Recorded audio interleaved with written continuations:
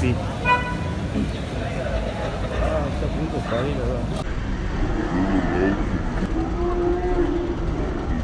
Ah, ha ah, venido un auto, eh, ver, un auto tocando bocina, digamos, obviamente, para que se abra el tránsito, para poder tener más recorrido, digamos, llegar Sí. acá al sanatorio. 9 de Sí. julio venía la señora con, ¿Y este tipo de Con intervenciones ya contracción. las han tenido que hacer otras veces o no? muchas veces, a veces por otro, por otro causa, otra, por otra.